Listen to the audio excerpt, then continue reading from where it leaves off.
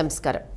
Coffee time సిప్పన్సీకి స్వాగతం. మనతో ఉన్నారు సీనియర్ జర్నలిస్ట్ పొన్నూరు వెంకట శ్రీనివాస్ గారు. ఆయన అడిగి ఈరోజు న్యూస్ ఏంటో తెలుసుకుందాం. నమస్తే సార్ గుడ్ మార్నింగ్. సరే మెయిన్ పేపర్స్లోని హెడ్లైన్స్ ఒకసారి చూద్దాం. సాక్షి ఫుల్గా పవర్. రాష్ట్రానికి కావాల్సిన కరెంట్ అంతా సమీకరించండి CM YS Jaganmohan Reddy. Andhra Prabha. Covid మృతులపై కారుణ్యం. నవంబర్ ముప్పైలోగా ప్రక్రియ పూర్తి చేయాలని సీఎం జగన్ ఆదేశం. దండకారుణ్యానికి దిక్కెవరు? ఈనాడు. హైకోర్టు న్యాయమూర్తిగా జస్టిస్ రవినాథ్ తిల్హరి ప్రమాణం. పది జలాశయాలకు రెడ్ అలర్ట్. కేరళ కేరళలో కొనసాగుతున్న ఆందోళనకర పరిస్థితులు. నెక్స్ట్ వచ్చేసి సూర్య. వైఎస్ జగన్ మంచి సీఎం. గణపతి సచ్చిదానంద ప్రశంసలు. విశాలాంధ్ర. ఆగిన రైలు. ఏపీలో మిన్నంటిన రైతు నిరసనలు. వార్త. కరెంటు కోతలే విద్యుత్ పరిస్థితులపై సీఎం జగన్ సమీక్ష. ఆలయాల పరిరక్షణకు అత్యంత ప్రాధాన్యం. విజయవాడ దత్తాశ్రమాన్ని సందర్శించిన సీఎం జగన్మోహన్ రెడ్డి. ప్రజాశక్తి. రైలు రోకో విజయవంతం. పలుచోట్ల నిలిచిపోయిన రాకపోకలు భారీ వర్షంలోనూ రైతుల ఆందోళన. ఆంధ్రజ్యోతి. గంజాయి ఏజెన్సీలో దమ్ము చూపుతున్న స్మగ్లర్లు. ఇవి సార్ ఈరోజు మెయిన్ పేపర్స్లోని హెడ్లైన్స్ అయితే. చూస్తే. స్థాయి సందడి సార్. స్థాయి సందడి అంటే జిల్లా పరిషత్తు ప్రమాణ స్వీకారం చేశారు బూచేపల్లి వెంకయ్యం గారు. అయితే దాంట్లో డెవలప్మెంట్ కమిటీలు అని చెప్పి ఏర్పాటు చేస్తారు. డెవలప్మెంట్ కమిటీలు అంటే జిల్లా మొత్తం చూడాల్సినటువంటి బాధ్యత. జడ్పీ చైర్మన్ అంటే యాభై ఆరు మండలాలు ఉన్నాయి యాభై ఆరు మండలాల్లో జడ్పీ కిందకు వచ్చి గ్రామాలకు సంబంధించి అన్ని రకాలైనటువంటి ఏర్పాట్లు చూడాల్సినటువంటి బాధ్యత జడ్పీకి ఉంది కాబట్టి ఒక్కళ్ళే దీన్ని చేయలేరు కాబట్టి డివిజన్ ఆఫ్ లేబర్ అంటారు చూసారా? అంటే ఒక్కొక్క విభాగాన్ని ఒక్కొక్కళ్ళు కనుక అప్పచెప్పినట్లయితే ఆ విభాగాలకు సంబంధించి వాళ్ళు క్షుణ్ణంగా పరిశీలన చేయటం దానికి సంబంధించినటువంటి నిధులు ఎలా ఉన్నాయి ఎక్కడెక్కడ దానికి డెవలప్మెంట్ చేయాలన్నటువంటి అవసరం ఉంది అనే దాని మీద వాళ్ళు స్టడీ చేస్తారు. దీనికి సంబంధించి ఏడు స్థాయి సంఘాలని ఏర్పాటు చేస్తారు. అంటే ఆ జడ్పీ చైర్మన్ గారు ఉంటారు. ఆ జడ్పీ చైర్మన్ గారికి ఇవన్నీ వివరాలు సేకరించి ఇవ్వడానికి ఏడు స్థాయి సంఘాలని ఏర్పాటు చేస్తారు. ఆ ఏడు స్థాయి సంఘాల్లో కూడా ఐదు స్థాయి సంఘాలకి చైర్మన్ గారే చైర్మన్గా ఉంటారు. అలానే వైస్ చైర్మన్లు ఉంటారు కదా రెండిటికి ఇద్దరు వైస్ చైర్మన్లు వాళ్ళు దానికి అధ్యక్షులుగా ఉండటం జరుగుతుంది. దీనికి సంబంధించి చైర్మన్ అధ్యక్షత దొరుకుతుంది ప్రణాళిక. ఇదిగోండి ప్రణాళిక ఆర్థిక స్థాయి కమిటీ. అంటే ప్రణాళిక కమిటీ ఆర్థిక స్థాయి కమిటీ గ్రామీణాభివృద్ధి స్థాయి కమిటీ విద్యా వైద్య సేవల స్థాయి కమిటీ మహిళా సంక్షేమ స్థాయి కమిటీ పనుల స్థాయి కమిటీలకు చైర్మన్ అధ్యక్షత వహిస్తారు. వ్యవసాయ సాంఘిక సంక్షేమ స్థాయి కమిటీలకు మాత్రం వైస్ చైర్మన్లు అధ్యక్షత వహిస్తారు. అంటే ఈ ఇన్ని కమిటీలు ఉంటాయి అన్నమాట. అంటే ఏడు కమిటీలు ఉంటాయి. ఈ ఏడు కమిటీల్లో కూడా దానికి జడ్పీ అభివృద్ధికి సంబంధించి ఏమేమి సంక్షేమ కార్యక్రమాలు చేయాలనే దాని మీద చేయటం జరుగుతుంది. అయితే ఈ కమిటీల్లో కూడా వేరే పార్టీల్లో వాళ్ళు కూడా వేసే అవకాశం ఉంటుంది. జడ్పీటీసీలుగా ఎవరైతే గెలుస్తారో వేరే పార్టీలకు ఉన్నటువంటి వాళ్ళని కూడా తీసి దీంట్లో వేయొచ్చు. స్థాయి కమిటీల్లో దానికేమీ ఇది లేదు. అయితే ఈ దాని ఏమైందంటే యాభై ఐదు జడ్పీటీసీ ఎన్నికలు జరిగితే యాభై ఐదు వైసీపీ వాళ్ళే. గెలిచారు కాబట్టి వీటిల్లో వాళ్ళే ఉండేదానికి అవకాశం ఉంటుంది. కాబట్టి జిల్లా ప్రణాళిక ఈ స్థాయి సంఘాలు ఏదైతే ఉంటాయో వాళ్ళకి ఇచ్చినటువంటి బాధ్యతల్ని సక్రమంగా నిర్వర్తించి మంచి అభిప్రాయాల్ని సేకరించి వాళ్ళు కూడా ఎట్లాంటి అట్లా పని చేయకూడదు మళ్ళీ. వాళ్ళు కూడా గ్రామ స్థాయికి వెళ్ళి అక్కడ అసలు ఏ సమస్యలు ఉన్నాయి ఎలాంటి సమస్యలు ఉన్నాయి అనేది ముందు అసలు సమస్యల్ని ఆ చైర్మన్ దృష్టికి తీసుకొస్తే నిధుల సంగతి తర్వాత. అసలు ఈ సమస్య ఉందని తెలిస్తే దానికి ఎంత నిధులు కావాలి దీన్ని రాష్ట్ర ప్రభుత్వం నుంచి ఎంత అడగాలి మనకు వచ్చేటటువంటి సెస్సుల రూపంలో ఎంత వస్తుంది ఇవన్నీ కూడా బేరీజు వేసుకొని పనులకు శ్రీకారం చుట్టేదానికి అవకాశం ఉంటుంది కాబట్టి ఈ స్థాయి కమిటీలు ఏర్పాటు చేయడం అనేది శుభపరిణామమే. అది ఇప్పుడు అనాదిగా ఉన్నది ఇది కొత్తగా వచ్చేది ఏం కాదు. కొత్తగా జడ్పీ చైర్మన్ గారు ఏర్పడ్డారు కాబట్టి వారికి సహకరించేదానికి స్థాయి కమిటీని త్వరలోనే వేయబోతున్నారు. Right sir. నెక్స్ట్ వచ్చేసి మహిళలు ఆర్థిక అభివృద్ధి సాధించాలి. మహిళలు ఆర్థిక అభివృద్ధి సాధిస్తేనే దేశ ప్రగతి సాధ్యపడుతుందని ఒక నినాదం. కాబట్టి మహిళలు ఆకాశంలో ఆకాశంలో సగం అని చెప్పి ఒక నినాదం ఉంది కదా. కాబట్టి మహిళలు అన్ని రంగాల్లో కూడా ఈరోజు విజయాలు సాధిస్తున్నారు. ముఖ్యంగా ఆ స్పేస్లో కూడా మహిళలు వెళ్ళొస్తున్నారు. కాబట్టి అటువంటి ఆధునిక కాలంలో మహిళలు అభివృద్ధి చెందాల్సినటువంటి అవసరం ఉందనే ఉద్దేశంతో జగన్మోహన్ రెడ్డి గారు వచ్చిన తర్వాత అనేకమైనటువంటి పథకాలు మహిళల సంక్షేమం కోసం ఏర్పాటు చేయడం జరిగింది.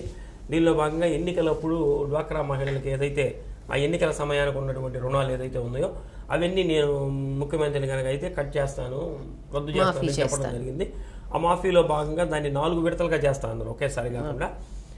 మొదటి విడత ఆల్రెడీ చేశారు. ఇప్పుడు రెండో విడత చేసినటువంటి కార్యక్రమాల్లో ఈ వారోత్సవాలుగా చేసుకుంటూ వస్తున్నారు. దీనికి సంబంధించి ఆ రాష్ట్ర మంత్రి ఆదిమూలపు సురేష్ గారు నిన్న పుల్లల చెరువులో ఈ రెండో విడత ఆసరా కార్యక్రమంలో వారు పాల్గొనడం జరిగింది. అక్కడ ఆ మండలంలో నాలుగు వందల ఎనిమిది స్వయం సహాయక సంఘాలు ఉంటే సుమారు రెండు కోట్ల రూపాయలు అక్కడ వాళ్ళకి రద్దు అవడం జరిగింది కాబట్టి పశ్చిమ ప్రాంతం అభివృద్ధికి తన వంతు కూడా కృషి చేస్తానని చెప్పి వారు చెప్పడం జరిగింది. అలానే నీటి సమస్యకి పరిష్కారం ఏదైతే ఉందో దానికి ప్రతిపాదనలు కూడా రాష్ట్ర ప్రభుత్వానికి పంపించి అక్కడ తీగలేరు కాలువకు అనుబంధంగా కండలేరు కాలువను తవ్వించి ఆరు పంచాయతీల్లో పదకొండు వేల ఐదు వందల ఇరవై ఆరు ఎకరాలకు సాగునీరు తాగునీరు ఇచ్చేదానికి కూడా ప్రయత్నం చేస్తారని చెప్పారు. అలానే ఎర్రగొండపాలెం పొలాల చెరువు మధ్యలో రెండు వరుసల రహదారి నిర్మించేందుకు అంటే డబుల్ రోడ్డు నిర్మించేందుకు కూడా సహకారం అందిస్తాను. దీన్ని ఈ విషయాన్ని రాష్ట్ర ప్రభుత్వం దృష్టికి తీసుకెళ్తున్నాను. కాబట్టి మహిళలు ఏదైతే జగన్మోహన్ రెడ్డి గారు మహిళలు ఆర్థిక అభివృద్ధి సాధించాలంటున్నారో కాబట్టి దానికి సంబంధించి మీరు ఈ లోన్లు కూడా తీసుకున్నవారు చక్కగా వ్యాపారాలు చేసుకొని ఆర్థిక అభివృద్ధి సాధించాలని రాష్ట్ర విద్యుత్ శాఖ విద్యాశాఖ మంత్రి ఆదిమూలపు సురేష్ గారు కోరారు. రైట్ సార్ ప్రజాసేవకి అంకితం అని చెప్పేసి బూచపల్లి వెంకయ్య గారు చెప్పారు సార్ నిన్న బూచేపల్లి వెంకయ్యమ్మ గారు జడ్పీటీసీగా దర్శి నుంచి వారు ఎంపిక కావడం జరిగింది. అలానే ఇప్పుడు జడ్పీ చైర్మన్ కూడా ప్రమాణ స్వీకారం చేశారు. ఈ రెండు సందర్భాలని పురస్కరించుకొని దర్శి నియోజకవర్గానికి వెళ్ళారు. ఎందుకంటే దర్శి నియోజకవర్గంకి వీళ్ళకి ఒక గుండెకాయ లాంటిది. వారి భర్త బూచేపల్లి సుబ్బారెడ్డి గారు అక్కడ గెలిచారు. వాళ్ళ అబ్బాయి కూడా బూచేపల్లి శివప్రసాద్ రెడ్డి గారు కూడా అక్కడ గెలిచారు. కాబట్టి దర్శి నియోజకవర్గం వాళ్ళకి మాతృ నియోజకవర్గం కాబట్టి అక్కడికి వెళ్ళి విజయోత్సవాలు చేసుకోవడం జరిగింది. ఈ విజయోత్సవాలు చేసుకున్నప్పుడు ఆ దర్శి నియోజకవర్గ అభివృద్ధికి కూడా తమ వంతు సంపూర్ణ సహకారం అందజేస్తాం. ఆ బూచేపల్లి సుబ్బారెడ్డి గారు ఉన్నప్పుడు ఏ విధంగా అయితే దర్శి నియోజకవర్గాన్ని సొంత నియోజకవర్గంగా భావించి అభివృద్ధి కార్యక్రమాలు చేశారో అలానే బూచేపల్లి దర్శి నియోజకవర్గాన్ని కూడా బూచేపల్లి కుటుంబం ఎప్పుడు అండగా నిలుస్తుంది. కాబట్టి ఎవరికి ఏ అవసరం వచ్చినా సరే మమ్మల్ని సంప్రదించవచ్చు అని చెప్పడం జరిగింది. ముందుగా అక్కడ భారీ వైఎస్ రాజశేఖర రెడ్డి గారి విగ్రహం ఉంటే దానికి నివాళులు కూడా అర్పించారు.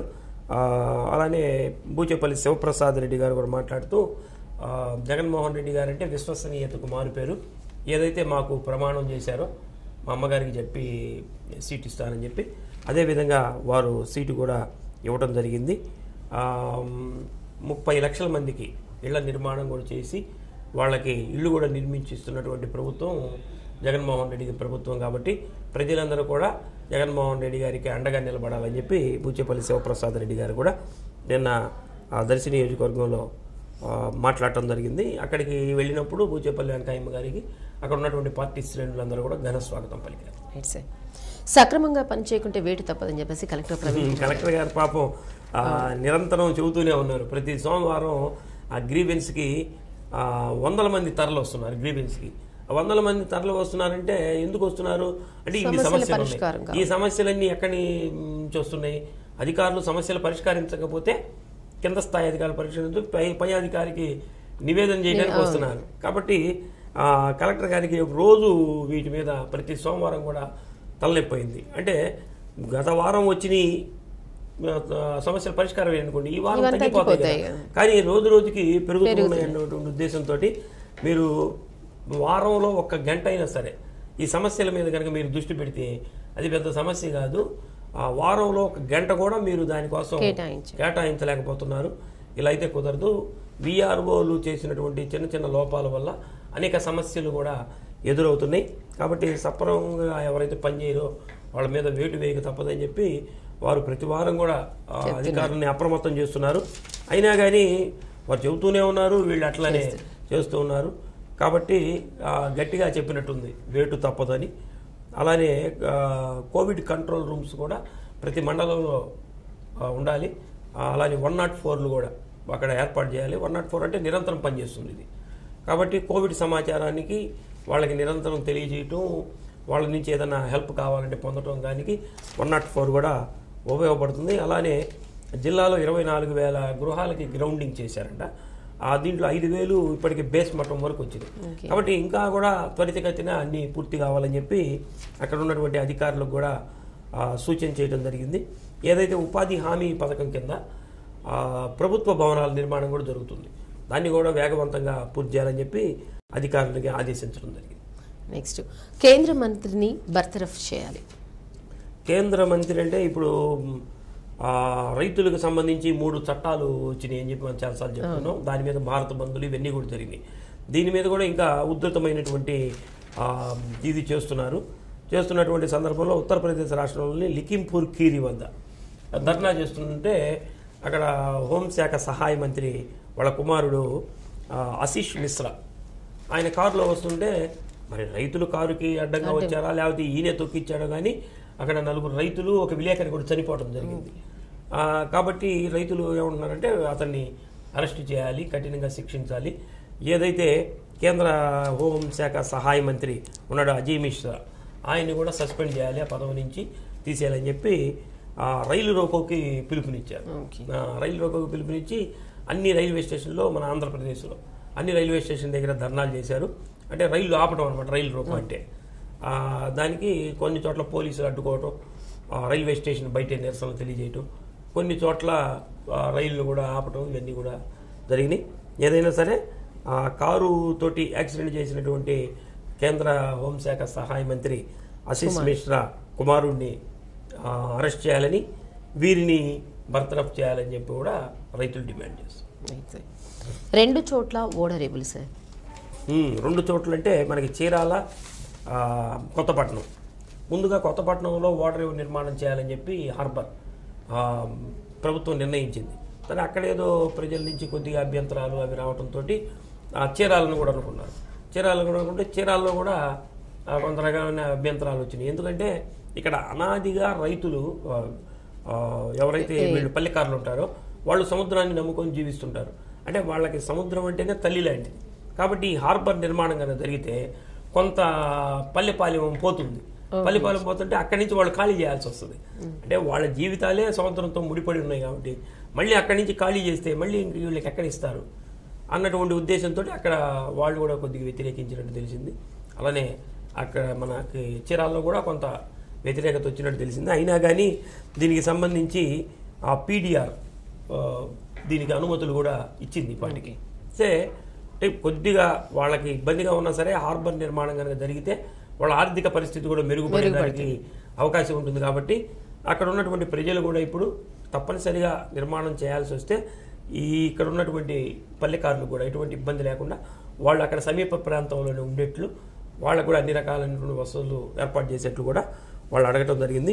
ఏదేమైనా సరే రెండు చోట్ల కనుక మనకు వచ్చిందనుకోండి ఇటుపక్క బాగా డెవలప్ అయ్యేదని కూడా అవ్వదు. ఇటుపక్క సముద్ర తీరమే ఇంకా మనకి. ఇటుపక్క పోవడానికి కూడా ఏమీ లేదు.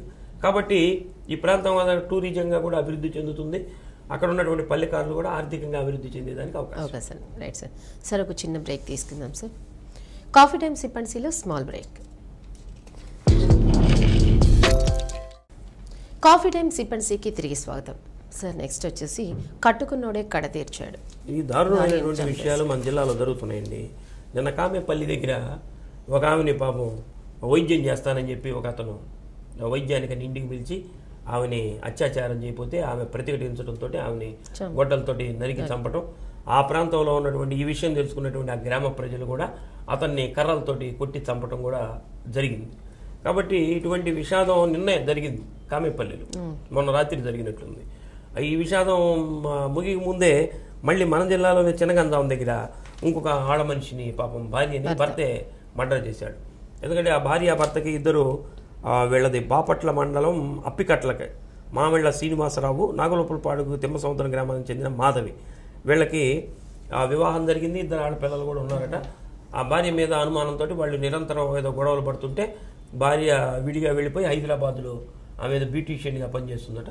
మళ్ళీ మాట మాట కలవటం మళ్ళీ ఆమె ఇక్కడికి రావటం ఓ రెండు నెలల నుంచి కాపురం చేస్తూ ఉన్నారు. అయినా కానీ అతనికి భార్య మీద ఉన్నటువంటి అనుమానంతో నిన్న వాళ్ళ చుట్టాల ఇళ్ళకి వెళ్తూ వచ్చేటటువంటి మార్గంలో ఆమెని గొంతు కోసి చంపినట్టు సమాచారం తెలుస్తుంది. కాబట్టి మహిళలకి పాపం ఇద్దరికి భార్యాభర్తకి ఇష్టం లేదనుకోండి విడిగా ఉండటం అనేది శ్రేయస్కరం. ఇప్పుడు ఆమెను చంపాడు ఇతను మళ్ళీ ఇంటికి వచ్చి పురుగు మందు తాగి ఇతను ఆత్మహత్య చేసుకోవడానికి ప్రయత్నించాడు. ఇప్పుడు వీళ్ళిద్దరి వల్ల ఏమైంది? ఇద్దరు ఆడ ఇద్దరు ఆడపిల్లలు ఉన్నారు వాళ్ళిద్దరికి పాపం తల్లిదండ్రి రక్షణ లేకుండా పోయేదానికి అవకాశం ఉంటుంది. కాబట్టి ఇద్దరు పిల్లలు ఉన్నారు వాళ్ళ భవిష్యత్తు ఏంది రేపు?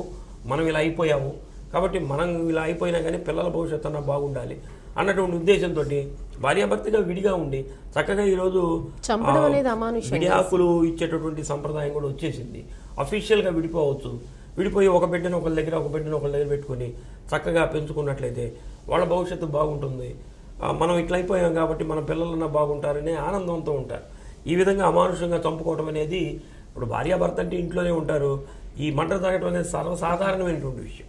కాబట్టి ఇటువంటి వాటిని ప్రజలు కూడా హర్షించకూడదు. ఎవరైనా ఇటువంటి అనుమానాలు ఏదైనా పెంచుకొని ఉన్నట్లయితే అఫీషియల్గా విడిపోవటం పెద్ద మనుషుల దగ్గర మీకు ఒక బిడ్డను మీ దగ్గర పెట్టుకోవడం ఒక బిడ్డను వాళ్ళ దగ్గర పెట్టుకోవడం ఏదో ఒక రకంగా ఇటువంటి హింసాత్మకమైనటువంటి ఘటనలు చోటు చేసుకోకుండా ఉంటే సమాజం బాగుండేదానికి అవకాశం ఉంటుంది. ముఖ్యంగా దీంట్లో ఎక్కువగా బలైపోతుంది మహిళలే. మహిళలు. కాబట్టి వాళ్ళకి ఎందుకంటే బలహీనంగా ఉంటారు కాబట్టి మహిళలు వాళ్ళ మీద ఈ అత్యాచారాలు ఈ అఘాయిత్యాలు జరుగుతున్నాయి. కాబట్టి దీని పట్ల అందరూ కూడా ఒకసారి ఆలోచన చేయాల్సినటువంటి అవసరం. రబీ పంటకు బ్యాంక్ రుణాలు ఏ విధంగా ఉన్నాయి సార్? రబీ పంటకి రాష్ట్ర ప్రభుత్వం జగన్మోహన్ రెడ్డి గారు వచ్చిన తర్వాత రైతుల సంక్షేమం కోసం కూడా మహిళలకు ఏ విధంగా అయితే చేయూతిస్తున్నారో రైతులు కూడా ప్రధానమైనటువంటి దృష్టిని పెట్టి వాళ్ళకు కూడా ఉచిత కరెంటు అనేది ఇవ్వటం. అలానే ముఖ్యంగా రైతు భరోసా కేంద్రాలను ఒకటి ఏర్పాటు చేసి దాని ద్వారా రైతుల సంక్షేమ కార్యక్రమాలు వాళ్ళ దగ్గరికే తీసుకువెళ్ళి వాళ్ళకి ఏదైతే అవసరం ఉంటుందో అవన్నీ ఏర్పాటు చేయడం జరుగుతుంది. ఇప్పుడు పొగాకు పంట వేసుకునేటువంటి తరుణం వచ్చింది. నార్లు వేస్తున్నాం దానికి సంబంధించి ఎరువుల్ని కూడా రైతు భరోసా కేంద్రాల్లో ఏర్పాటు చేసి వాళ్ళకి ఎక్కడ ఎవరికి ఏం కావాలో అందజేయడం కూడా జరుగుతుంది. అలానే ఈ రబీ సీజన్ వచ్చింది కాబట్టి దీనికి సంబంధించిన రుణాలు కూడా ఇవ్వాలి. దీనికి ప్రభుత్వం ఆ, రుణాలు ఇవ్వాలి అన్నటువంటి ఉద్దేశంతో ఒక ప్రణాళికను కూడా నిర్ణయిస్తుంది. దాన్ని బ్యాంకర్స్ని అందరినీ కూర్చోబెట్టి ఆ కలెక్టర్ గారు కూడా దాని మీద ఒక సమావేశం చెబుతారు. మీరు ఈ సంవత్సరం ఎన్ని రుణాలు ఇచ్చారు? మీకు ఇచ్చినటువంటి రుణ ప్రణాళికని మీరు రీచ్ అయ్యారా లేదా? అన్నటువంటివి కూడా జరుగుతాయి. అంటే డిపాజిట్ సేకరణలో టార్గెట్ ఇవ్వాలి కానీ రుణాలు ఇచ్చేదానికి టార్గెట్ ఏంటంటే కానీ రైతుల కోసం ఇవన్నీ ప్రభుత్వాలు చేస్తూ ఉంటాయి. ఈ సంవత్సరం ఈ నెల ఒకటవ తేదీ నుంచే మంజూరు కార్యక్రమం చేశారు. గత ఏడాది కంటే ఆరు వందల డెబ్బై ఆరు కోట్ల రూపాయలు ఎక్కువగా ఈ సంవత్సరం లక్ష్యాన్ని కూడా పెంచుకున్నారట. కాబట్టి ఈ సంవత్సరం ఐదు వేల నూట నలభై రెండు పాయింట్ ఆరు ఆరు కోట్లు ఐదు వేల కోట్లు సుమారు రైతులకు రుణాలు ఇవ్వడానికి కూడా యంత్రాంగం ఆ రెడీలో ఉంది. గత సీజన్తో పోలిస్తే ఆరు వందల డెబ్బై ఆరు కోట్లు ఎక్కువగా ఇస్తున్నారు. ఇప్పటికే తొంభై శాతం లక్ష్యాలను చేరుకున్నారు. అంటే సుమారు నాలుగు వేల కోట్లు ఐదు వేల కోట్లు దాకా ఇప్పటికే ఇవ్వడం జరిగింది. కాబట్టి రైతులకి చక్కగా రబీ సీజన్ కానీ ఖరీఫ్ సీజన్కి కానీ ప్రభుత్వం ఏదైతే ప్రణాళిక నిర్దేశించిందో దాని ప్రకారం ఇవ్వటానికి కూడా బ్యాంక్ అధికారులు కూడా సిద్ధంగా ఉన్నట్టు lead bank manager Yugandhar Reddy గారు తెలియజేశారు. వెలుగొండ కోసం టీడీపీ పాదయాత్ర సార్ ఇప్పుడు వెలుగొండ అనేది పెద్ద సమస్య అయిపోయింది. రాష్ట్ర ప్రభుత్వం ఏమో మేము వచ్చే మస్ట్ టన్నెల్ పూర్తయిపోయింది. రేపు ఫిబ్రవరి నాటికి ఒకటో టన్నెల్ నుంచి నీళ్ళు ఇస్తాము. దానికి సంబంధించినటువంటి ముంపు గ్రామాలు ఏవైతే ఉంటాయో వాళ్ళకి కూడా వెంటనే వాళ్ళకి ఇవ్వాల్సినటువంటి పరిహారాన్ని ఇచ్చేసి వెంటనే నీటిని విడుదల చేస్తాం ఒకటో టన్నెల్ ద్వారా అని చెబుతున్నారు. అలానే రెండు వేల ఇరవై మూడు ఆగస్టు నాటికి రెండవ టన్నెల్ పనులు కూడా పూర్తి చేసి అది కూడా పరిపూర్ణంగా ప్రాజెక్టును పూర్తి చేస్తామని వాళ్ళు చెబుతున్నారు. అయితే తెలుగుదేశం పార్టీ వారి మటుకు ఆ ప్రాజెక్టు నత్తనడకన నడుస్తుంది నడుస్తుంది. కాబట్టి ఇది ఏదైతే ఉద్దేశంతో ఈ పాదయాత్ర ఇది ప్రారంభించారో వెలుగొండ ప్రాజెక్టు అది నత్తనడక నడుస్తుంది కాబట్టి దాన్ని పనులు స్పీడప్ చేయాలనే ఉద్దేశంతో వెలుగొండ కోసం టీడీపీ పాదయాత్ర వచ్చే నెల ఒకటవ తేదీ నుంచి ఐదవ తేదీ వరకు జరపాలని చెప్పి దీన్ని ప్రారంభించడం జరిగింది వచ్చే నెల ఒకటి నుంచి ఐదవ తేదీ వరకు ఐదు రోజుల పాటు. మూడు నియోజకవర్గాల్లో. అంటే పశ్చిమ ప్రాంతంలో వెలుగొండ ప్రాజెక్టు ఎక్కడికైతే వస్తుందో ఆ ప్రాంతాల్లో చేయాలని చేశారు. దొనకొండ నుంచి పాదయాత్రను ప్రారంభించి మార్కాపురం వైపాలెం నియోజకవర్గాల్లో కొనసాగేలా రూట్ మ్యాప్ను కూడా తెచ్చుకున్నారు దీనికి సంబంధించి ఎగువ ప్రాజెక్టులు కనుక నిర్మించారనుకోండి వెలుగొండకు నీళ్ళు వచ్చేదానికి అవకాశం లేదు. ఆ సమస్య కూడా ఒక ప్రధానమైన సమస్య ఉంది. వెలుగొండ ప్రాజెక్టుని గజెట్లో చేర్చలేదు. ఆ సమస్య కూడా ఒకటి ఉంది. పనులు ఏమో నత్తన్నాడక నడుస్తున్నాయి. కాబట్టి వీటన్నిటి పరిష్కారం కోసం మేము పాదయాత్ర చేస్తున్నామని చెప్పి దానికి సంబంధించి టీడీపీ నాయకులు కూడా దానికి రేపు ఒకటో తేదీ నుంచి పాదయాత్రకి శ్రీకారం చుట్టినట్టు తెలుస్తుంది. Okay. Sir covid positivity rate ఏ విధంగా ఉంది? ఒకసారి చెప్పండి సార్. కోవిడ్ నిన్న చూస్తే ఇరవై ఆరు కేసులే కోవిడ్ పాజిటివ్ కేసులు వచ్చినాయి. కాబట్టి మొన్న నలభై ఐదు ఎన్నో వచ్చినాయి. ఇవాళ ఇరవై ఆరే వచ్చినాయి. కాబట్టి ఇది తగ్గుతున్నట్లు ఉంది. కానీ మనం కూడా ఎప్పుడు చెప్పేది ఏంటంటే అప్రమత్తంగా ఉండాలి. ప్రజలు ఎప్పుడూ అప్రమత్తంగా ఉండాలి. దీన్ని కనుక మనం ఇది చేసామనుకోండి ఎక్కువ కేసులు వచ్చేదానికి మళ్ళీ అవకాశం ఉంటుంది. కానీ మనం మనమే మళ్ళీ ఇబ్బంది పడతాం. కాబట్టి దేశవ్యాప్తంగా కానీ మన రాష్ట్ర వ్యాప్తంగానే చూసుకుంటే మళ్ళీ కేసులు పెరుగుతున్నట్లు సంకేతాలు ఉన్నాయి. కాబట్టి ఇది మంచి వాతావరణం కాదు. అది మన జిల్లా దాకా వచ్చింది అనుకోండి ఇప్పుడు అన్ని రకాలైనటువంటి బస్సులు తిరుగుతున్నాయి. ఇప్పుడు దసరా పండగ సందర్భంగా హైదరాబాద్ నుంచి వేల సంఖ్యలో మళ్ళీ మన జిల్లాకు వచ్చారు. అక్కడి నుంచి మళ్ళీ ఇక్కడికి తెచ్చారనుకోండి వేరే ప్రాంతం నుంచి ఇక్కడికి తీసుకొచ్చారనుకోండి మళ్ళీ జిల్లాలో కూడా పెరిగేదానికి అవకాశం ఉంటుంది కాబట్టి ఎప్పటికప్పుడు ప్రజలు కూడా అప్రమత్తంగా ఉండి తప్పనిసరిగా మాస్కులు ధరించి భౌతిక దూరాన్ని పాటించి శానిటైజ్ చేసుకుంటూ ఉన్నట్లయితే ఎవరికి వాళ్ళు రక్షణ కల్పించుకున్నట్లు ఉంటుంది. వాళ్ళ రక్షణ కల్పించుకోవడం ద్వారా సమాజానికి కూడా రక్షణ కల్పించినట్టు. సార్ న్యూస్ అన్ని వివరించినందుకు మీకు ధన్యవాదాలు సార్. చూసారు కదండి ఇది నాటి కాఫీ టైం సిప్పన్సీ రేపు మళ్ళీ ఇదే టైంకి మీ ముందుంటుంది కాఫీ టైం సిప్పన్సీ అంతవరకు సెలవు. నమస్కారం.